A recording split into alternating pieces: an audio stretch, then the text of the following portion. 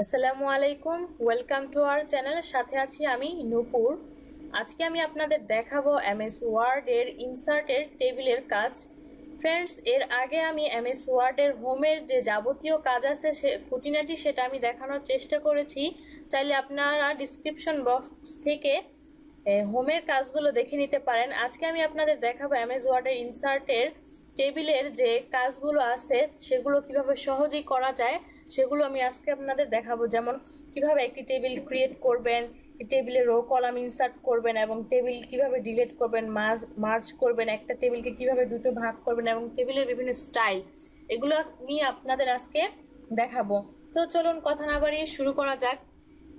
সেজন্য আপনাকে প্রথমে এমএস ওয়ার্ড ওপেন করে এখান থেকে ইনসার্টে চলে দিতে হবে। ইনসার্ট থেকে আমরা টেবিলে ক্লিক করব। দেন এখানে আমরা ইনসার্ট টেবিল এখানে আমরা এইভাবে ঘরগুলো দিয়ে আমরা টেবিল ইনসার্ট করতে পারি। এই দিকে যে ঘরগুলো রয়েছে, এগুলোকে বলে কলাম এবং নিচের দিকে যে ঘরগুলো রয়েছে, এগুলোকে বলে রো তো আমরা এখানে আমাদের প্রয়োজন মতো ইচ্ছে অনুযায়ী এখানে আমরা রো কলাম করে নিতে পারি। আমি অল্প কিছু কলাম রো কলাম নিলাম। দেন এখান থেকে আমরা একটি টেবিল ইনসার্ট করলাম। বা এখান থেকে আপনারা অন্য পদ্ধতিতেও টেবিল ইনসার্ট করতে পারেন। আবার এখানে টেবিলে গিয়ে, এখানে ইনসার্ট টেবিল, এখান থেকে আপনারা কয়টা রো দরকার এবং কয়টা কলাম দরকার সেটা এখানে লিখেও আপনারা দিতে পারেন। কলাম লিখলাম সিক্স এবং রো লিখলাম থ্রি দেন ওকে দেখুন, আমার ওই অনুযায়ী কিন্তু হয়ে গেছে। আমার এখানে সিলেক্ট করা ছিল আমার এখানে ক্রিয়েট হয়ে গেছে রো কলামগুলো। দেন আমি আপনাদেরকে আবার দেখিয়ে দিচ্ছি ইনসার্টে গিয়ে টেবিলে গিয়ে এখানে ইনসার্ট টেবিলে ক্লিক করবেন দেন এখানে রো কলামগুলো, এখানে পাঁচটা, দুটো আছে, আমি এটাই এখানে দিয়ে দিলাম। দেখুন আমার কিন্তু এখানে ক্রিয়েট হয়ে গেল। আর এটা এখান থেকে আমি কেটে দিচ্ছি। এখন আমরা এখানে টেবিলের ঘরগুলো কীভাবে বাড়াবো বা কমাবো রো কলামগুলো আমি আপনাদের সেটাই দেখিয়ে দিচ্ছি। যেমন আমরা এখানে নিচে আমার আরও কলামগুলো বাড়ানোর প্রয়োজন। সেক্ষেত্রে আপনারা একেবারে শেষের যে ঘরটি আছে সেখানে মাউসটা রেখে কার্চারটা রেখে আমরা শুধু ট্যাপ প্রেস করব। কিবোর্ডের ট্যাপ প্রেস করব। দেখুন অটোমেটিক কিন্তু আমাদের একটা একটা করে ঘর বেড়ে যাচ্ছে। আশা করি বুঝতে পেরেছেন। এরপর আমরা এখান থেকে লেআউটে গিয়ে, এখানে দেখুন ইনসার্ট অ্যাবভ আছে। আমরা যদি এখানে ক্লিক করি, তাহলে কিন্তু আমাদের এই উপরের কিন্তু কলামগুলো একটা একটা করে বাড়বে। আমি একটা একটা করে ক্লিক করব এবং উপরের কলামগুলো একটা একটা করে কিন্তু বাড়বে। দেখুন, আমি একটা করে ক্লিক করছি এবং আমার ঘরগুলো কিন্তু অটোমেটিকলি বেড়ে যাচ্ছে। টেবিল ড্র করেও আমরা কিন্তু একটা টেবিল ইনসার্ট করতে পারি আমাদের ইচ্ছে মতো। যেখানে, যেমন এখানে ড্র টেবিল আছে, আমি ড্র টেবিলে ক্লিক করলাম। দেন এখানে একটি পেন্সিল চলে এসেছে। আমরা পেন্সিলটা দিয়ে কিন্তু আমাদের ইচ্ছে মতো একটি টেবিল এভাবে ক্রিয়েট করে নিতে পারি। এখানে একে আমাদের ইচ্ছে মতো টেবিলটা আমরা ক্রিয়েট করে নিতে পারি।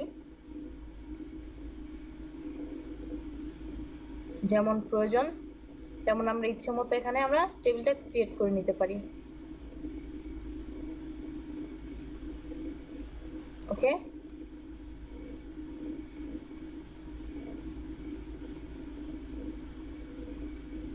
দেন আমরা এখান থেকে আবার ইনসার্ট টেবিলে গিয়ে এখান থেকে আমরা ড্র টেবিলে গিয়ে এখান থেকে আমরা কিন্তু টেবিলটা এঁকে নিতে পারি। এখানে ড্র টেবিলে গিয়ে এখান থেকে আমরা এঁকে নিতে পারি। আমরা দুইভাবেই কিন্তু ড্র টেবিলটা এখানে নিয়ে আসতে পারি।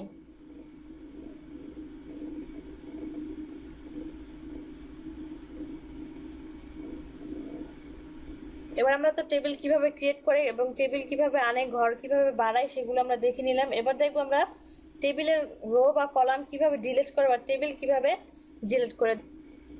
ধরুন আমি এখান থেকে এটা ডিলিট করতে চাচ্ছি এই কলামটা সো এখান থেকে ভিতর থেকে না, ভিতর থেকে যদি আমি সিলেক্ট করি তাহলে কিন্তু আমার একটা বা দুটো ঘর এভাবে সিলেক্ট হবে।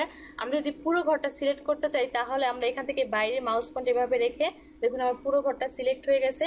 এখান থেকে আমরা যদি ব্যাগে স্পেস প্রেস করি দেখুন আমার টেবিল কিন্তু ডিলেট হচ্ছে বা আমরা এখান থেকে বেশি ঘর, বেশি কলামগুলো ডিলিট করতে চাইলে এভাবে বেশি করে আমরা সিলেক্ট করে আমরা এখানে ব্যাগ স্পেস প্রেস করলাম দেন দেখুন আমার টেবিল কিন্তু ডিলিট হয়ে যাচ্ছে।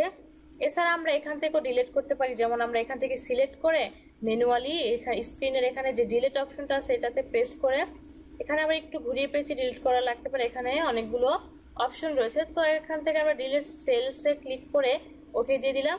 দেখুন আমার কিন্তু ঘরটা কিন্তু রিমুভ হয়ে গেল। এছাড়া আমরা ইরেজার টোলস দিয়েও কিন্তু টেবিলের রো কলামগুলো আমরা ডিলেট করতে পারি। এই যে ইরেজারটা আমি নিয়ে আসলাম, আমার যেখানে যেখানে প্রয়োজন আমি সেখানে কিন্তু আমরা এভাবে ডিলেট করে দিতে পারি। আশা করি বুঝতে পেরেছেন। যেখানে যেখানে প্রয়োজন সেখানে কিন্তু এভাবে প্রেস করে আমি কিন্তু ইরেজার দিয়ে টেবিলটা আমাদের ইচ্ছে মতো সাজিয়ে নিতে পারি। এখন তো আমি দেখালাম কীভাবে রো এবং কলাম আপনারা ডিলিট করবেন। এছাড়া যদি আপনারা চান যে পুরো টেবিলটা আপনারা ডিলেট করে দিবেন, সেজন্য আপনাদেরকে এখানে এই যে মাউস কার্চারটা রেখে অপশনটাতে দেন আপনারা ব্যাগ স্পেস প্রেস করবেন। দেখুন, আপনাদের পুরো টেবিলটা কিন্তু ডিলিট হয়ে গেছে বা আপনারা পুরোটা সিলেক্ট করে ব্যাগ স্পেস প্রেস করবেন, দুইভাবেই ডিলিট করা যায়। তো আমি আবার আবার একটি টেবিল ইনসার্ট করে আনি।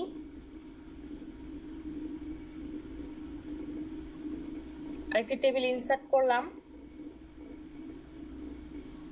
ধরুন আমরা একটি মার্কশিট বা স্যালারি শিট বা রুটিন তৈরি করব, সেজন্য আমাদের উপরে একটি হেডলাইন দেওয়া প্রয়োজন পড়তে পারে। সো সেই হেডলাইনটি দেওয়ার জন্য আমাদের ঘরটা কিন্তু আরও বড় প্রয়োজন হতে পারে। সেজন্য আমরা এখানে মাউস কার্চারটা রেখে যে কোনো একটা করে মাউস কার্চারটা রেখে আমরা যদি ইন্টার প্রেস করি, দেখুন আমার ঘরটা কিন্তু বড় হয়ে যাচ্ছে। এভাবে আপনারা আপনাদের ঘরটাকে বড় করে নিতে পারেন।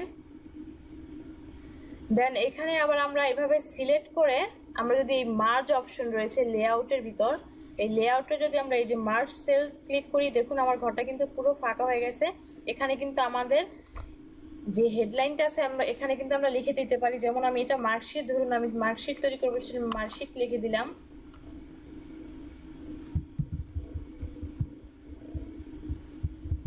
এখানে আমি মার্কশিট লিখে দিলাম। দেন এটাকে আমরা আর একটু বড় করে নেই।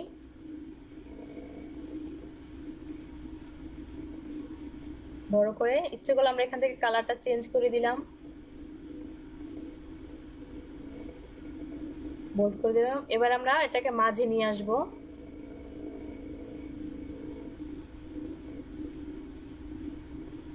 মাঝে নিয়ে আসলাম। এভাবে আমরা একটি টেবিলের মার্জ অপশনটা ইউজ করে আমাদের সুবিধা মতো ব্যবহার করতে পারি।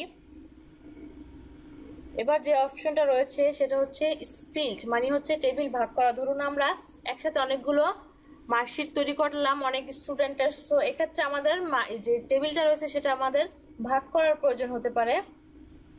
সো ভাগ করার জন্য আপনাদেরকে যা করতে হবে, এখান থেকে আমরা লেআউটে চলে যাব। এখান থেকে আমরা, যেখান থেকে আমরা ভাগ করব, সেখানে আমরা সিলেক্ট করে নিব প্রথমে। সিলেক্ট করে নিয়ে এখানে স্পিল টেবিল দিয়ে দিব। দেখুন আমাদের টেবিলটা কিন্তু ভাগ হয়ে গেছে। যেমন এখানে আমি স্পিল করব বা ভাগ করব টেবিলটা, সেজন্য এখানে আমি শিফট কন্ট্রোল ইন্টার প্রেস করব। শিফট কন্ট্রোল ইন্টার প্রেস করলাম। দেখুন, এখানে অটোমেটিক্যালি আমার টেবিলটা কিন্তু ভাগ হয়ে গেল। এছাড়া আপনারা এখানে বিভিন্ন টেক্সটের ক্ষেত্রে পদ্ধতি ব্যবহার করতে পারেন। যেমন আমি এখানে একটি লেখা লিখি।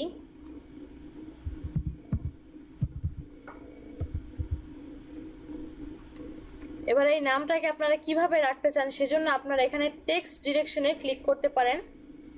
নামটা আমি একটু বড় করে দিই, আপনাদের বুঝতে সুবিধা হবে।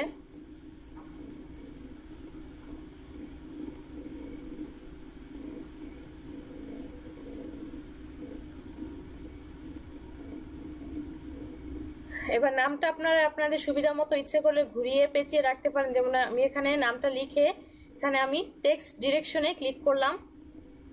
দেখুন, আমার নামটা কিন্তু অটোমেটিকলি ঘুরে যাচ্ছে। টেবিলটা একটু বড় করে দিই। দেখুন, আপনার ইচ্ছে মতো যেভাবে ইচ্ছে সেখানে এই নামটা কিন্তু এইভাবে রাখতে পারছেন টেক্সট ডিরেকশন থেকে। এবার হচ্ছে আপনাদের দেখিয়ে দেব শর্টের কাজ। শর্টে আপনারা একটি চমৎকারভাবে কাজ করতে পারবেন। ধরুন, আমি এখানে কিছু সংখ্যা লিখছি।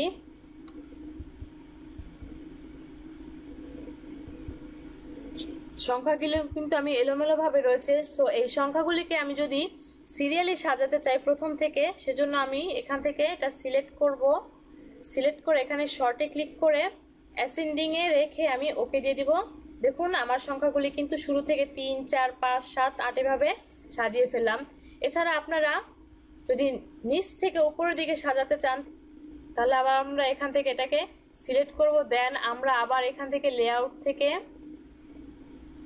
শর্টে চলে যাব, এখান থেকে আমরা ডিসেন্ডিং দিয়ে দেব। ডিসেন্ডিং এ রেখে আমরা ওকে দিয়ে দিব। দেখুন, আমার এই লেখাগুলো কিন্তু এখন নাম্বারিংগুলো কিন্তু নিচ থেকে উপর দিকে সাজানো হয়েছে। এভাবে আপনারা সিরিয়াল করতে পারেন।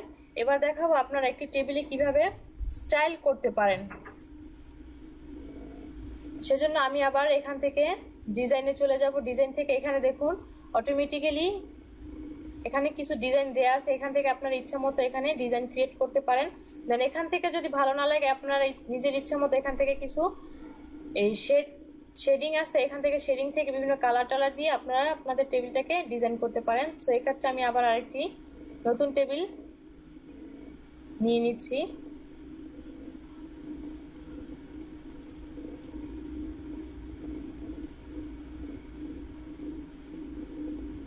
এখান থেকে আপনারা বিভিন্ন কালার টালার দিয়ে আপনারা টেবিলটাকে কিন্তু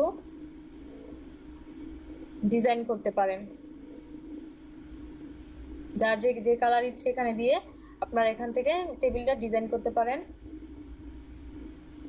দেন এখান থেকে আপনারা বর্ডার স্টাইল দিতে পারেন। তার আগে আমি বর্ডার স্টাইলের যেইটা বর্ডারটা সেটা আপনারা বাড়িয়ে কমিয়ে নিতে পারেন, মোটা চিকুন করে নিতে পারেন। আমি এখান থেকে নিলাম। দেন এখান থেকে পেন কালার আপনার ইচ্ছা মতো কালার দিয়ে দিতে পারেন। আমি ধরুন এই কালারটা দিয়ে দিলাম। দেন বর্ডার স্টাইলে আপনারা কি স্টাইলে রাখতে চান বর্ডারটা সেটা এখান থেকে সিলেক্ট করে দিতে পারেন। ধরুন আমি এটা দিয়ে দিলাম। দেন এখানে আপনারা এভাবে এঁকে দিতে পারেন।